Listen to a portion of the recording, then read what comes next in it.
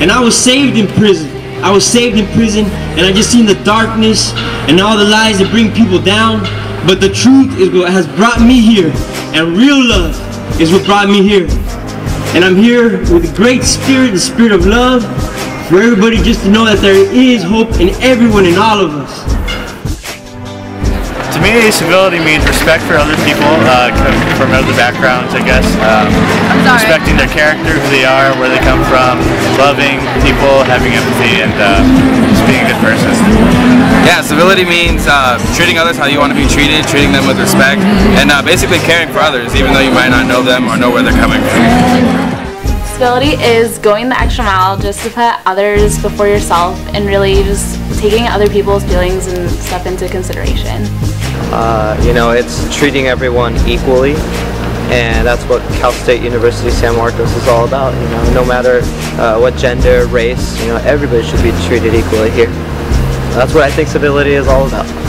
I think Cal State San Marcos does a really good job of di showing diversity. Um, I just see random acts of kindness all over the place, and this life is all about compassion and love, and just love on people. So that really cool.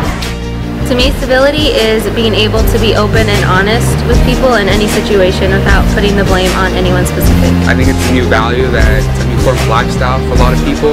Going about your ways to reach out and change a different perspective of what people are living up to right now in society and being the difference and being that change to treat people right, treat, you know, and influencing others to also act on those kind of values.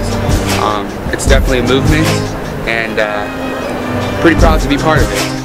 It's about acknowledging the beauty that's within a particular person and acknowledging that through what they do, what their behavior is. And it's important to share that. It's important to show um, kindness and respect and compassion because really that that's what this whole world is about and how to make the world a better place is to act civilly um, from an authentic genuine place within your heart and it's just it warms my heart and I feel really blessed to work here and to be a part of the Civility campaign.